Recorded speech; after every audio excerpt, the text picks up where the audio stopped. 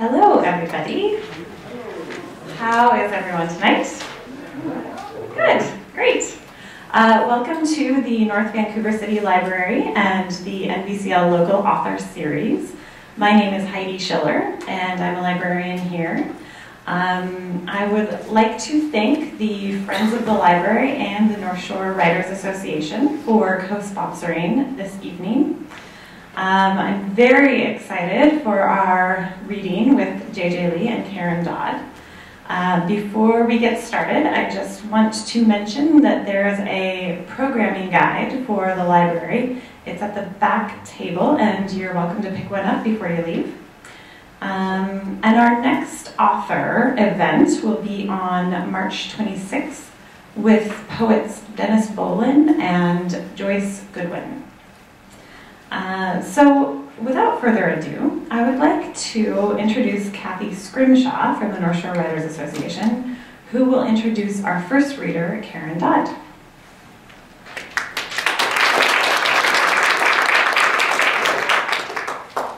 Ah, thank you, Heidi. Um, it's my very great pleasure to be here tonight to introduce Karen. Uh, she is a fellow member of the North Shore Writers Association She's a fellow past president and currently our social media coordinator. She's dragging people like me into the 21st century. Um, Karen has reincarnated herself professionally many times during her working life, and she does call herself a serial entrepreneur. She spent three decades working in marketing, was CEO of Global Institute for Small Business Marketing, now, Karen has written hundreds of articles for entrepreneurs. She's a regular columnist for Entrepreneurial Woman magazine. And her books, nonfiction, include The Bliss is in the Breakthrough From Purpose to Profit by Design and Smart Women Live Their Why How Entrepreneurial Women Are Living on Purpose and with Passion and this just goes right back to the point. I've been telling Karen she's missing the mark here. She's a perfect romance writer. um, and, and I know this because I'm part of her writing critique circle and I've read all the fiction that she's written. Um, Karen also teaches a workshop on author platforms and how writers can use social media to promote themselves and their writing. Uh, now, Karen and I have been together in our writing circle for about two years. We meet every two weeks. So I've gotten to know her a little bit more than I know some of the other members of the North Shore Writers Association. Um, she's demanding of herself and others. She's one of the most generous people I've ever met. She's businesslike in her approach to writing, and she might talk about that a little bit tonight. She's extremely compassionate. If you're going to find yourself in some kind of a crisis, if Karen's standing next to you, you're going to do fine. Um, and she's also lots of laughs. She's got a great sense of humor. So we have some interesting meetings. Um, when I was working on this introduction, I, I like to throw in little personal anecdotes, but one of the things that Karen it was one of her laws for our writing circle. Everything that happens in the circle stays in the circle, so I can't tell you anything. so tonight, she's here to read from her first novel, released in November of last year. It's titled Deadly Switch, A Stone Suspense. Please welcome Karen Dodd. Thank you, Kathy. She stayed true to her word. As soon as she found out my husband was going to be in the front row, she said, I can't say anything rude. All right. Well, this is um, this is really a two-part dream come true for me. The first part is um, opening for the great J.J. Lee, and uh, and you'll know why when you hear him speak, and and uh, he reads from his book. And uh, the second part of the dream come true is um, back in November of 2011, I had uh, come to, I think it was my first local author series. Some of you will recognize the old brochure. And when I came home, I, um, I, I surgically removed whoever was the speaker under Gerhard Winkler, and I put my own picture and write up, a very good write up, I might add, um, on, the, on a book that I hadn't written yet. And so I posthumously um, apologized to uh, whoever I, I killed off out of the brochure, I don't know who it was. But I, I stuck it on my bulletin board and, um, and promptly forgot about it. And, uh, and so I just had to check the date, November, that was November 2011, and in November 2013, my book went live on Amazon. Uh, with the help of a lot of people in this room and a lot of people not in this room. Um, and, and, so I'm thrilled to tell you that the average, uh, it's been on eight weeks on Amazon in print and uh, ebook, and in eight weeks, um, uh, it's average four and a half stars out of five out of all the reviews on Goodreads and Amazon. And uh, so far, we've sold uh, 76 of the print books. I'm hoping you'll make that an even 100 tonight. and, uh, and on one day, um, just after it launched, uh, we had 248 um, copies of the ebook downloaded. Paid copies, they were not freebies. So I'm very grateful. I feel very blessed. Um, that that uh, this has happened, and uh, so tonight I'm going to read for you a, a, couple of places out of my book. And I'm going to read the, um, the Amazon blurb because, like most authors, I find it easier to write an entire book than a synopsis. I think a lot of us can relate to that. So, um, on the, um, it, this is not all on the back of the print book, but uh, who is the man, man found dead with a needle in his arm? What is he doing in Gavin Stone's waterfront mansion? A charismatic international property developer, his estranged and bitter daughter, each obsessed and tormented, both harboring too many secrets. He's on the run, she's in the chase of her life. What they discover changes everything. From the gruesome discovery in an exclusive enclave of West Vancouver, British Columbia, Deadly Switch takes you on a wild ride from Italy's Amalfi Coast to the idyllic seaside town of Carmel, California. Gavin Stone's tormented daughter, Alexis, searches frantically for her missing father, matching wits with devious criminals. With demons of her own to fight, she shouldn't care about proving him innocent of murder and embezzlement, but she does murder, intrigue, was Kathy? A romance. Uh, built on a house of cards, this thriller will satisfy your thirst for the adrenaline rush that this intricately plotted story delivers. A, a delicious stay up all nighter, Deadly Switch stuns with its heart pounding conclusion. You will not see it coming. So that's easier for me than trying to give you the elevator version of my book. And uh, Tonight I'm just going to do three very short selections out of different parts of the book. And uh, I thought I would start with uh, chapter one, West Vancouver, British Columbia, February 9, 2013. Even though she was expected, it struck her as peculiar that the wrought iron gate was wide open. Obsessed with security, Gavin Stone had emphasized that she would have to buzz to gain entry. Alexis Layton opened the unlocked front door of the mansion at 70C Spray Close. She called out as she stepped into the dimly lit foyer. Hello? Is anybody home? Hello? No reply. She pulled herself from her coat pocket, found his last text message, and hit dial.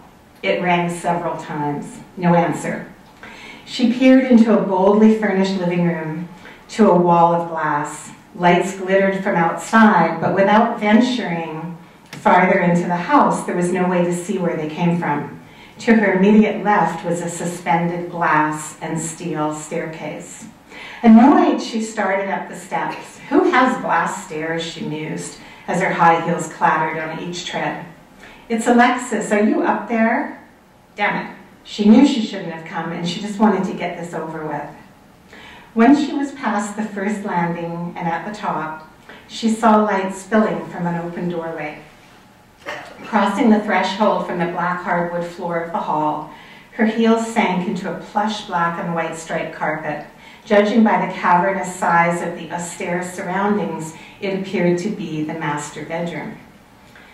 She gasped, gulping for breath. For a second, she thought she'd caught him in bed at an inopportune time. Pages stuck together, but he didn't move. Her pulse thundered in her ears. Desperately trying to slow down her breathing, she forced herself to move in for a closer look. A naked body sprawled across the king size bed. The duvet lay loosely bunched around his feet. Averting her eyes from his exposed genitals, Alexis felt her stomach roil as she saw a syringe sticking partway into the man's inside right arm, forearm. Her heart pounded as she stifled a scream. She clenched her shaking hands and took another tentative step toward the bed. His neck and head were twisted at a grotesque angle. He stared with bulging, vacant eyes. White, frothy spittle had dried in one corner of his partly opened mouth. Recoiling, she lurched backward out of the room and fled for the stairs. In her panic, she stumbled down the glass steps, losing one shoe and then the other on her frantic descent. Her phone flew from her hand and smashed on the floor below as she grabbed for the cold metal banister. Missing the last few stairs, she landed in a heap on the slick marble floor. Willing herself to get up, she bolted through the open front door at lightning speed, stockings ripping on the wet concrete driveway. Her head reverberated with the sound of her own screams. Dizzy, she felt soggy grass underfoot before she vomited and passed out. I wanted to take you on a little bit of a travelogue because one of the greatest compliments I got was that people could feel um, the, the, villages and towns and locations. And um, so we're, we're jumping ahead here to Tropea in Calabria, Italy, June of 1985. So the book started in 2013 and we've gone backwards. And I wanted to read this because um, it's one of my favorite characters in the book. So it starts with dialogue, the reading, not the chapter. I don't start my chapters with dialogue. Well, it was a converted private school, but now it houses children with emotional problems who come from nearby cities. Some are autistic, but many of them are coping with severe trauma a nun who's formerly from the Vatican runs the house. That's a story in itself. She's brilliant with the children, and of course she has help, but not enough. Catherine looped her arm through Gavin's and led him to the front door, which Jezebel was already pawing excitedly. Catherine reached for the rusted iron door knocker and pumped it up and down several times. A gray-haired woman opened the door and beamed at her unexpected guest. Jezebel, she said in a thickly accented English. Caterina, mia cara, I didn't know you were coming. The nun opened the door wide and ushered them in. Sister Seraphina, I hope we're not intruding at the children's dinner time. I'd like you to meet my friend, Gavin Stone. Welcome, Senor Stone, she said, taking his hand in both of hers. The sister looked at Catherine and said, No, no, supper is over and bath time has not yet begun. The children will be most happy to see you. Can you stay for tea? No, we mustn't, but I'd love to see how they're coming along from their last session. Would that be all right? Catherine replied. Of course, Cara. She waved them forward. Come, come with me to the art room.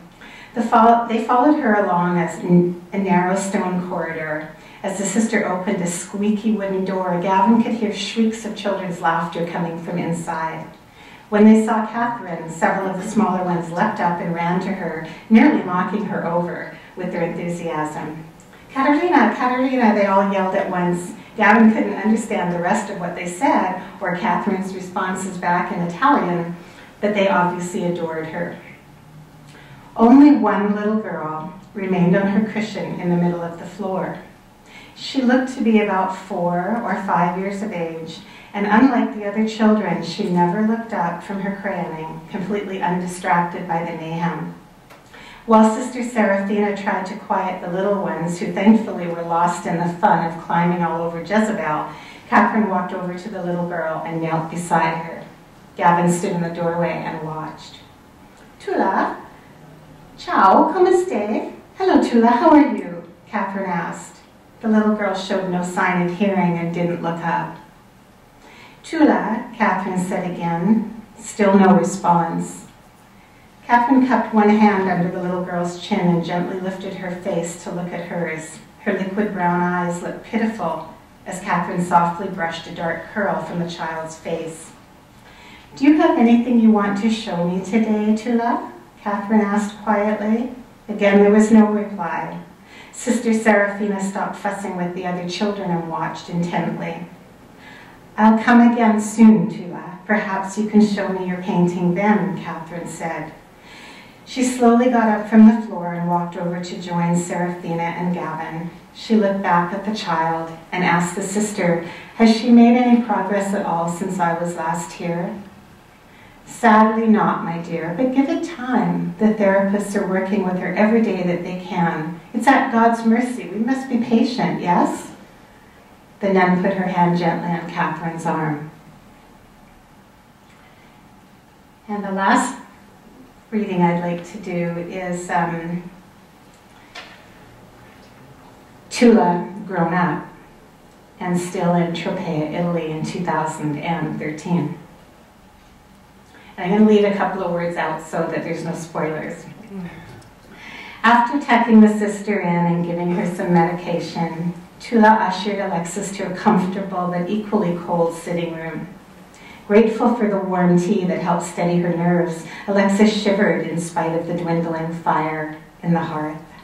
She listened in horror as Tula related how, as a child, she had hidden in a closet while Constantine did unspeakable things to her mother, forcing her father to watch. Then she saw him torture her father to death.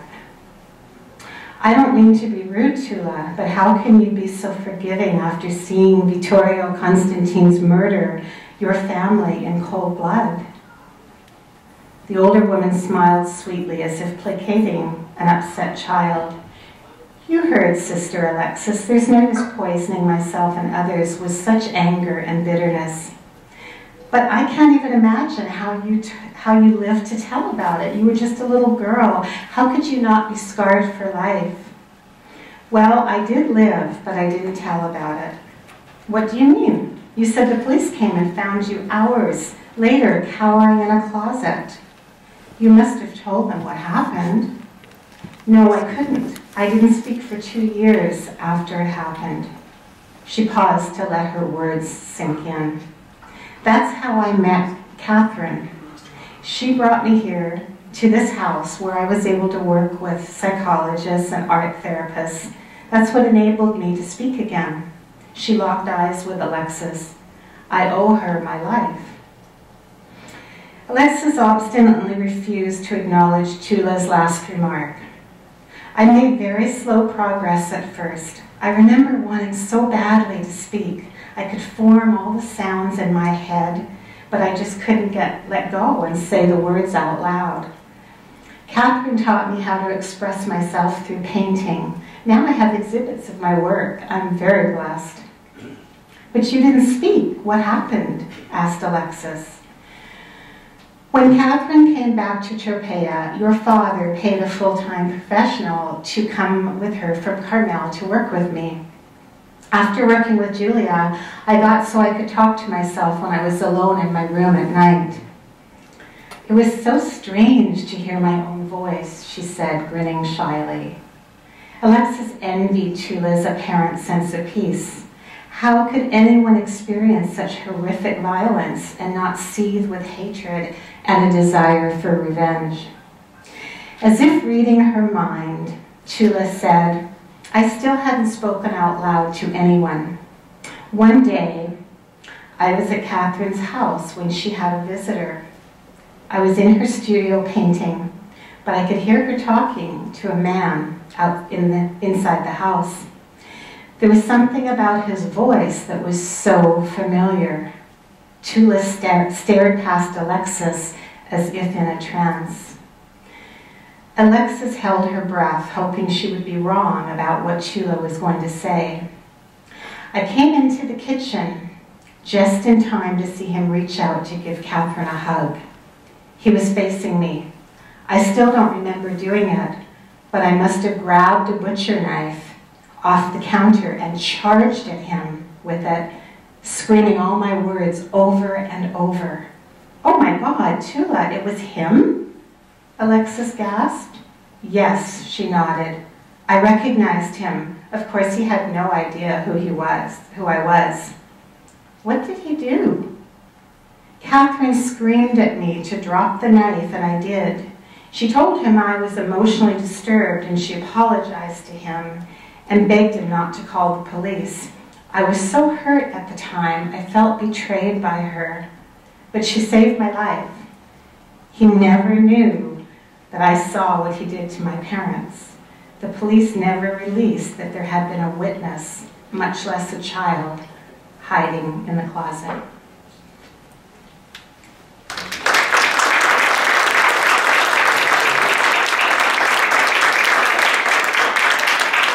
Thank you, and uh, I'm going to turn it back over to Heidi for our next guest. Thank you, Karen. I actually do remember um, when Karen came to an author reading after that one in November, and she told me that she had done that with the, the picture in the program, and um, and here she is, two years later. It's so great. It's really amazing. Um, so I'm actually just going to move this out of the way. One moment.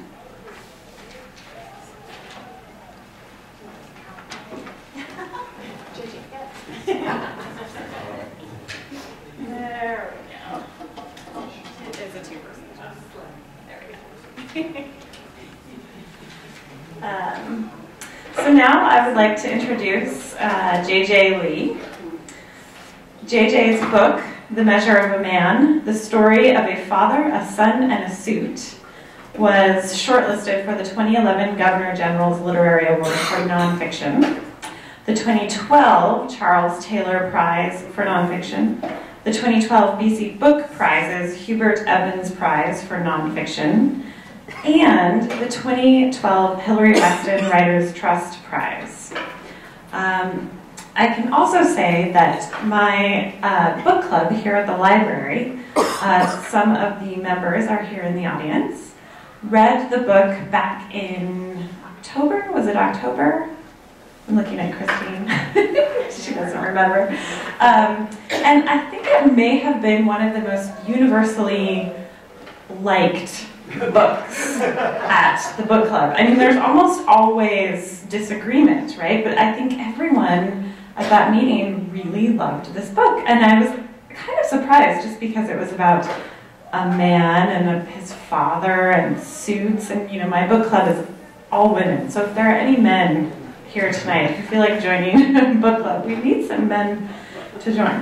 But anyway, um, JJ also uh, has fashion and personal essays published in Elle Canada. Uh, and his memoir piece, Elle First, You Are Beautiful, tied for gold at the 2011 National Magazine Award for Best Short Feature. Uh, so please join me in welcoming JJ Lee.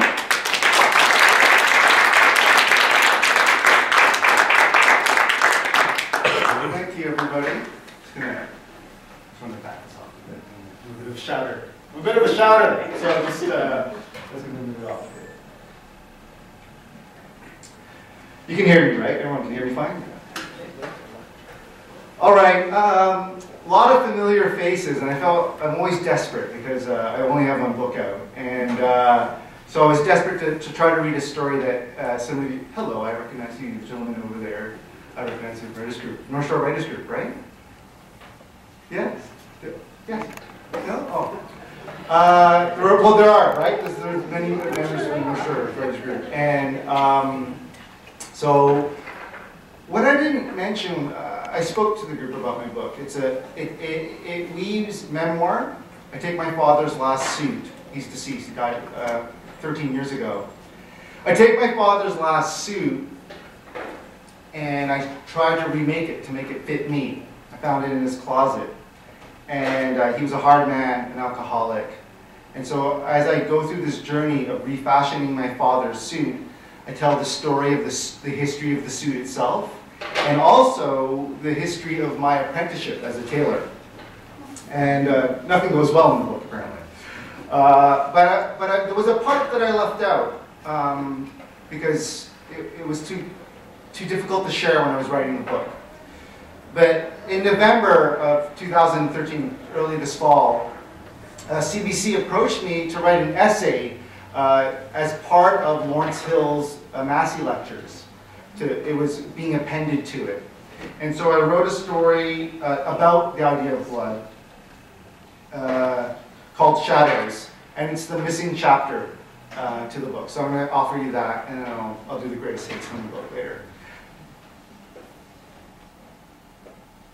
When the police entered my father's ground floor apartment, they heard the crying first. I'm sure they also detected, as I did later, the smell of urine. Now, I've always imagined a boy, five years old, sitting on the bathroom floor beside my father. My father's body sprawls, his arms akimbo, his arms like the crooks of a swastika or a running man like the victim tape outline on the cover of a murder mystery. Boy cries, and the police constable picks him up. And though he's kindergarten age, I can't shake the idea that he wears a soaked diaper. There was that smell. Maybe he pissed himself. Maybe it, it, it was from when he was a toddler and he wet a mattress. Maybe this is what had become of the smell of my father. My father, when he was young, smelled of vanilla, cigarettes, and sweat. But maybe it had simply come down to the smell of piss. The boy attended the funeral with his two half sisters. They were 23 and 15 at the time. The boy's mother did not. And I suppose she knew we didn't like her. Not her fault, not really, but there was anger. How could she let herself become entangled in our misery? Did she not see the bottles, the rages? I suppose she made us feel ashamed. Our family lived in Montreal. And when my mother divorced my father in 1991, he moved out west and met the boy's mother. And we knew that my father had brought all his demons to the new relationship. He drank, he shouted, he pushed, he shoved, and worse. History repeating itself. And we were responsible. We made it happen again. We cut our father out of our family. And in doing so, we inflicted him on another. Our private misery would be shared. There was the boy. After the chapel service, we went to a local restaurant and we ate wings and drank beer, and I drank lustily, not out of deep sorrow. Not then, not yet. I drank out of relief. We all did. I'm sure we did. My father, who could promise to kill you as easily as he could promise to take you out for an ice cream, could promise no more. I watched my father's boy. He sat between the sisters, but got up and began to walk around the table, visiting his momentarily enlarged family. I saw his face. It had a softness and a fineness that must have belonged to his mother.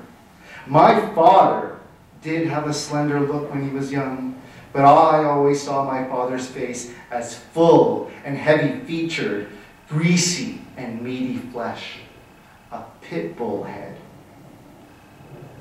I was 27 years old and he was 46 when my father told me he was going to have another child. You're going to have a little brother. Half brother, dad. Half brother. The boy sat beside my father in the last hours. A neighbor said he heard the crying, and when the morning had passed, into a hot August afternoon, and the crying hadn't stopped, the man called the police. The boy spent hours with my father, helpless to do anything. The coroner called weeks later to tell me of the lesions on my father's legs. His blood, weakened by years of alcohol abuse, infected by bacteria, had become poison and made his heart stop beating. I have knot seen the boy since. He must be 17 years old. I sometimes wonder if he looks like me or my father. Sometimes I fantasize about sweeping back into his life when he's ready. I'll show him how to smoke cigars, not a tie, and other ridiculous shit one picks up from the movies. Like how to whittle a stick, overcompensating, lavish promises, foolish, presumptuous plans. Come over for dinner, see a movie, look at our family pictures, let me see yours. The boy whittles a stick and thinks, Where the hell have you been? I have been afraid that I will feel the pang of jealousy. He was there when my father died. For some reason, that matters. I'm afraid to see the shadow of my father in the boy, and I'm afraid to see the shadow in myself. I am afraid he will see my father in me. That he will look like me when I was young lanky with greasy hair, a nervous smile, and a painful awkwardness. If I pulled him to me and breathed him in, would I know the scent? Blood is secret. Blood is beneath. Blood never lies.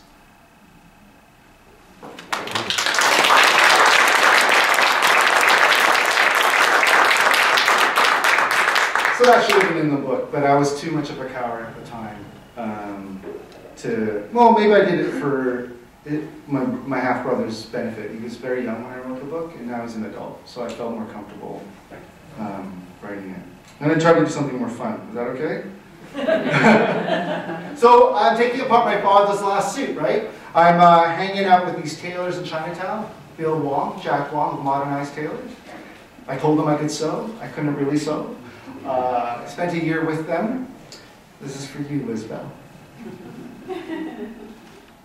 Are your lapels sexy?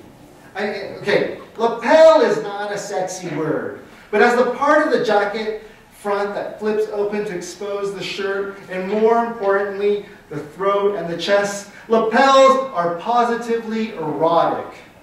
They are the suggestive, soft part of the suit.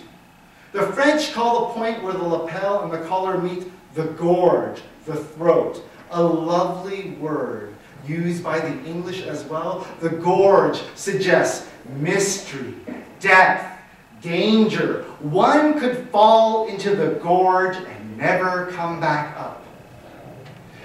Originally, there was no lapel on the coat. A man either wore his coat open or buttoned up over his sternum and up to his neck, which would be dressed with a ruff or a lace collar or a cravat. Then it dawned upon some young men to leave the top buttons open. This practice of artful dishevelment seemed to amplify the dashiness of the suit. It gave the wearer a windswept look, as if his clothes had been slightly undone by vigorous horse riding. It became formalized when the front flaps of the coat were permanently folded out.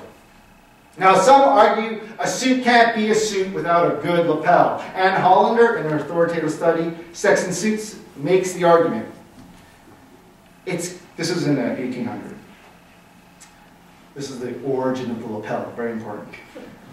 Its collar was forced by clever cut steaming and stiffening to curve up around the neck, to fold over and open in the front, and to form lapels that would obediently lie down and align smoothly with the body of the coat.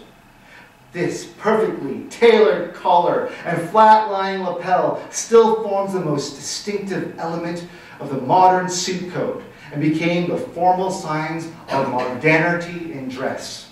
Now, I would like to point out Hollander's diction.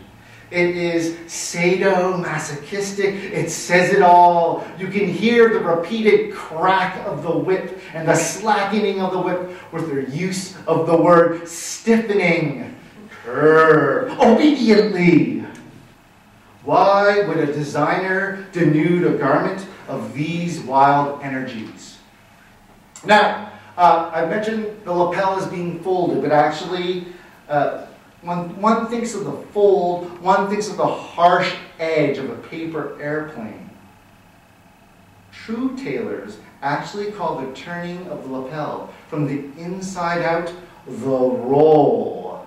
Done properly, the lapel will not look folded out at all. Instead, it will roll out like a blooming flower petal. A great lapel should remind one of the bee-stung lips of Angelina Jolie. All fullness and sensuality. They are wool labia, opening out with an irresistible lushness. With great lapels, the most masculine article in the man's arsenal, the suit, comes alive with a feminine opening which explains the enduring phallic nature of the essential suit accessory, the necktie. Lapels can be, should be, lapels should be kinky, dangerous, sleek, potent. To wit, if someone touches your suit sleeve, you're on to something good. If he or she strokes your lapel, the deal has been sealed. Hail a taxi and have at thee. All men, and all women too, deserve beautifully rolled lapels. so you can see that's me trying to avoid actually doing any sewing. If, if you have waxing poetic about the lapel, instead of actually doing the work of um, changing my father's suit. But I did. Uh, it took me a long time. It took a lot of tries. And um, I, I, needed help. I got Bill to fix it, even though he didn't know he was fixing my father's suit. Um, I guess I made my peace on some level, but we can talk about that maybe in Q&A. Uh, I'm going to read a part where, uh, so my father and my mother divorced. He took me and my sisters away from my mother for a good long time. This is the first time they split up, not the second time. And uh, eventually we returned back to uh, my hometown. And this is about that revival of our family, that short respite from the good and the bad. My father presumably had dried out and had a job. This is probably the summer of 1985. The su- oh, 86, sorry. The summer after I graduated from high school, I got a job at Tarte Julie as a kitchen helper. My previous experience in my father's restaurant ill prepared me to work in a properly run outfit, but I caught on. I worked late, spent my money on comic books and movies, and wondered what college would bring. On my days off, my friend Adrian and I started sparring with two pairs of old boxing gloves. And we spent a good part of August pounding the shit out of each other. And it's funny how being punched in the head can actually be a welcome diversion when you are young. One day, Adrian left the gloves in my bedroom, and my father came home early, as was his new habit, but this time he was hammered. Relapsed into the old ways. He barged into my room, filling the space with that sticky, smoky smell. Whiskey. And it made me hostile and alert. He saw the leather gloves and he slurred. You want a box? And I made a quick calculation. Despite his physical decline, my father still had thicker arms and broader shoulders. He weighed 160 pounds, more than Sugar Ray Leonard did when he fought Roberto Duran. He might still be strong, but he was also slow. The light of the late summer evening flooded into my room and we cleared a space and began. And he landed some heavy punches on my ribs and I pushed him back and I jabbed with my left. To my surprise and his, his head snapped back twice, then three times. And he patted around and he lunged at me and I pushed him away. And he came forward and we clinched. And I wonder now what would have happened if I just held him at that moment, just wrapped my arms around him and slipped off the gloves and hugged him, bearing his weight. I would have felt the sweat on his cheek and smelled the booze on his breath. But I no longer feared him or what he could do. I would have felt his heart beating madly, and I would have felt mine beating too. He would not have been too heavy for me to bear. I could have said, Come on, Pa, sit down. You've been drinking. Instead, I jabbed hard with my left, and I hooked with my right, and I caught him on the temple. And he straightened up, and I began to sting him in the forehead, and he staggered back with a crash. His body slamming the bedroom door shut. Knockout. I smiled when it happened, but I really wanted to cry. I took off my gloves, but I couldn't get out. He was blocking the way. So I dragged him by his feet to the middle of the room and left him sprawled there on the floor. I climbed over his body and I shut the door behind me.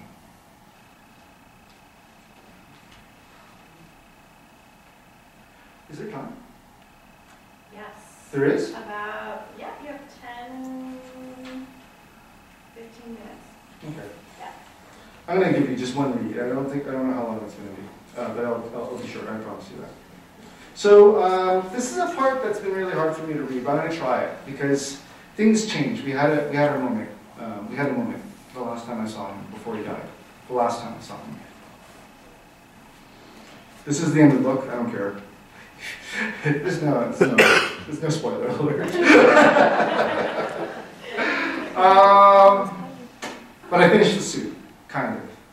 I'm not sure what you would think if you saw me in my father's suit.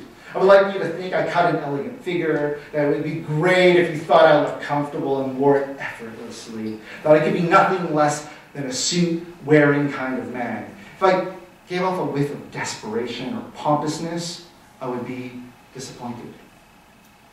I would rather be keen and bright than preening. Indomitable would be preferred to overblown and insecure. But I'm chasing what can't be caught.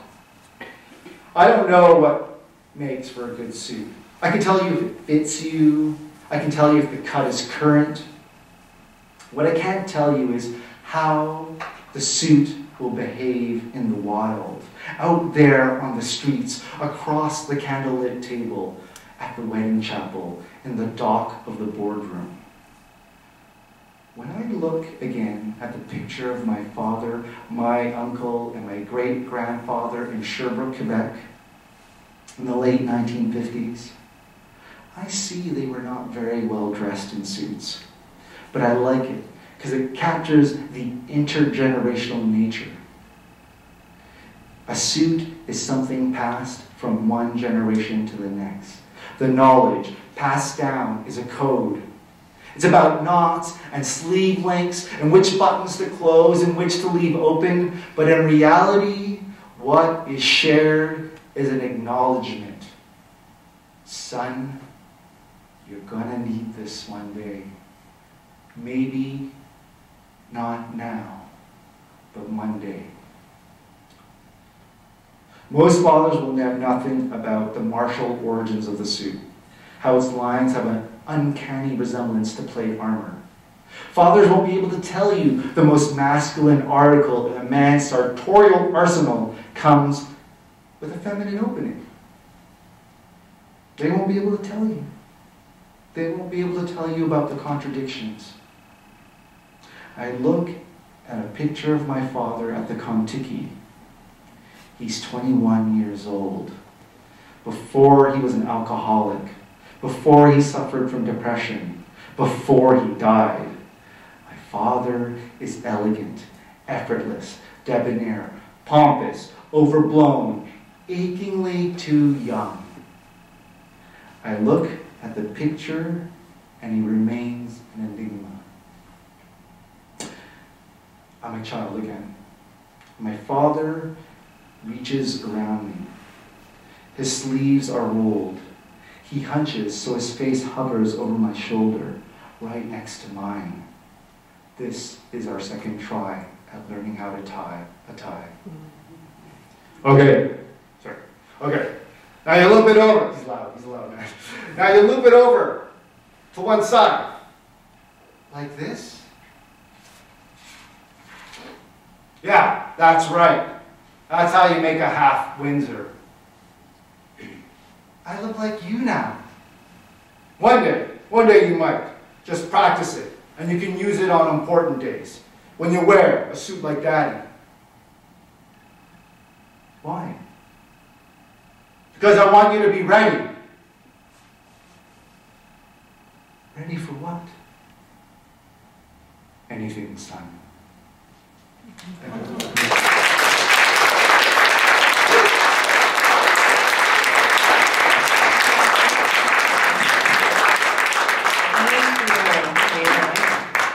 Um, so we do have some time for questions. I'm just going to ask you both to come up. Oh no. So um, I actually have a question for JJ that doesn't really have anything to do with your book, but more. Um, I'm curious It would have been $105,000 if I won all the prizes. It would have been 105. I just didn't get it. Is that the question? No. That's the one that's on my mind every day.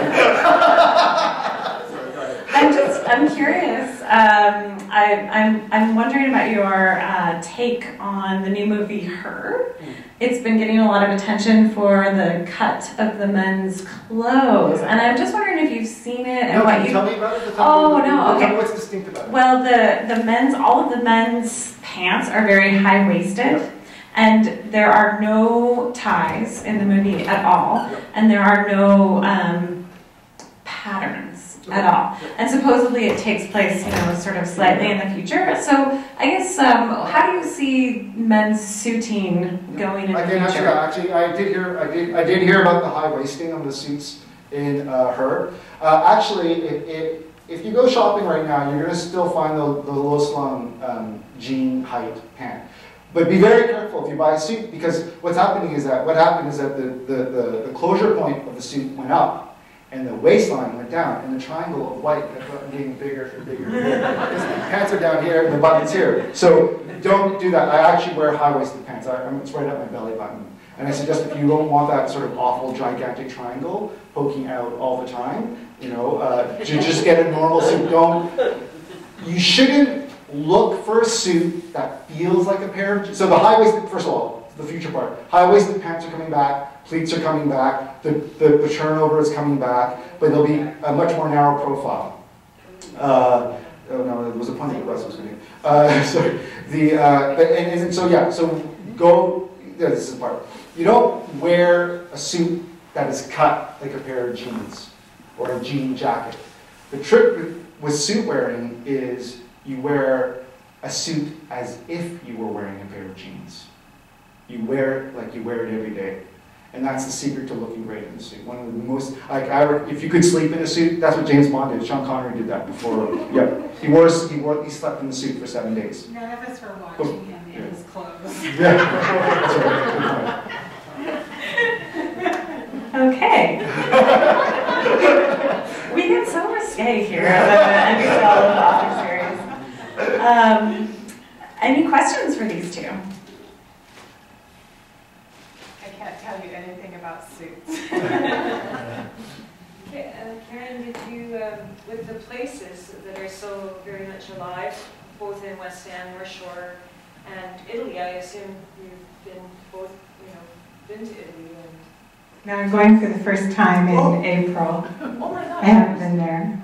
No. A lot of research. Um, we're very fortunate that uh, a very good friend of ours um, is Italian and goes there every summer. So uh, I'm actually a little nervous right now because he's reading the book, and I know he took some literary license. and, uh, we have wonderful neighbors here. Um, Anna, who is Italian, and her husband, who's almost fluent.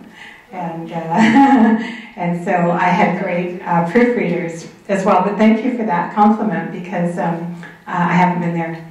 What was it like? Was it hard to do that or was it easy? No, I, it was easy. I, um, I don't know. I just felt it, and I just I know that there are some fictionalized locations and restaurants and things, but I Did you just Google felt map it. it? Uh, did you Google map it? Like, did you Um, go along the the streets that go along the streets? I, I did a lot on the internet, but I'm not good with maps, JJ. that was just like way too overwhelming. but uh, that's a great resource. A lot of authors use that. A lot of writers use that. Yeah, Right? I like that restaurant. I'm interested. I just used Yeah. I see a sign. Carmel, I, I, know, I know very well. And, uh, and of course, uh, Vancouver and West Vancouver. And um, the sequel, which I'm writing now, I'm on chapter seven, is, um, is uh, starting in West Van again. Yeah.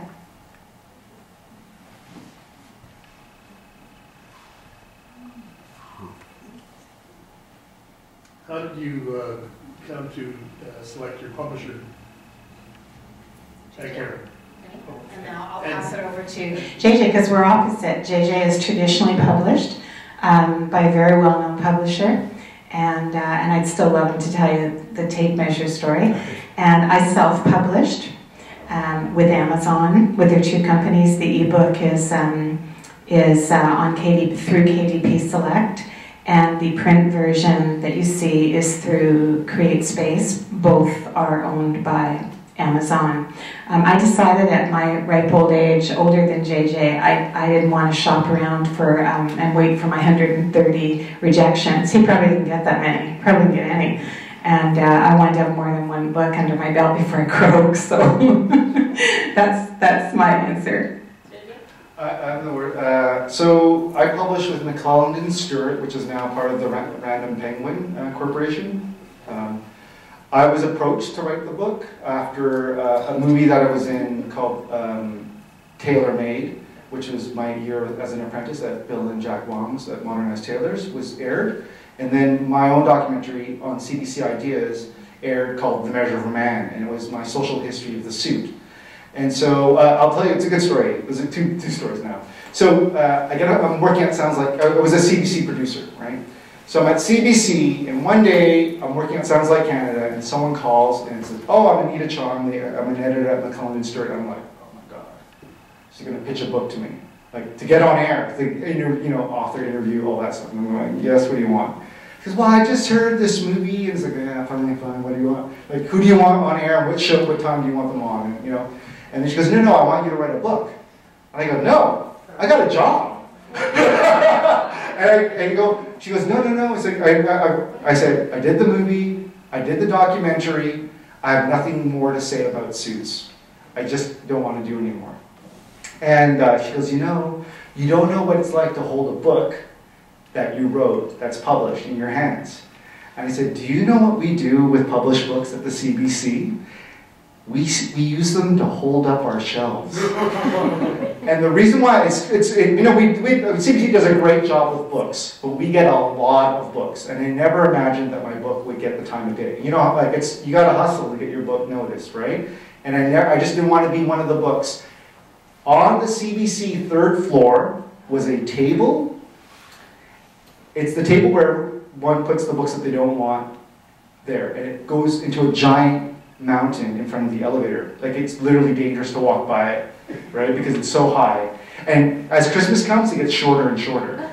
And that's the only time it gets smaller. Otherwise, it just gets bigger. So these are all the unread, untouched books that can happen. And I, and I assumed I would be one of those untouched books, right? So I said no. Uh, but then Sounds Like Canada was canceled. And so I called Anita and said, you know, I've been thinking about that book idea. Uh, now the other thing is, so I did write a pitch. I wrote the first chapter. Was my first my pitch document, and immediately the book was accepted, and I had a year to write it. Uh, and then this uh, during that period is this this uh, book design came out, uh, and you notice there's a measuring tape, and this is the story Karen wants me to tell. So originally the draft document had a measuring tape that went from four to 12 inches. And I emailed back I said, I love the design of the book, but maybe we should use chest measures instead.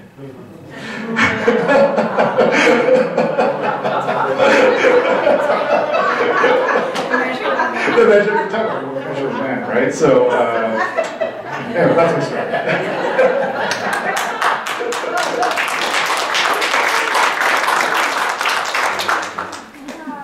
Yes, Christine. Um, When, um, JJ, when uh, Anita uh, wanted your story, wa- was it the soup story she wanted, or the relationship with? She wanted the relationship part. She really, it was, it's funny, um, it was, really didn't want to write that part, right? Uh, it was very difficult. But in the end, it was actually easier to produce the chapters about my father than it was to write the social history. And the book deal nearly fell apart because I couldn't actually write the, the social history. And it took a lot of, I, I found inspiration in four books. Uh, Julie and Julia uh, by Julie Powell. Kitchen Confidential by Anthony Bourdain. Uh, a book called The Guitar, An American Journey. And all these books jump between ideas, right? Kitchen Confidential is more tonality. I was looking, like I needed to, how could I show the reality of working as an apprentice? There's a lot of crazy things that happen in the shop. And I, didn't, I was, wasn't brave enough until I read Kitchen, Confiden- Kitchen Confidential. Then I learned, okay, that's how you write about business and about the work environment in a way that captures people's imagination. And so Lapel owes a lot to Anthony Bourdain and that gut lusty way of writing about food was, uh, I needed to be lusty about clothes. And I am, so it made it easy. Thank you for asking. Did I, was that, yeah, that was easy,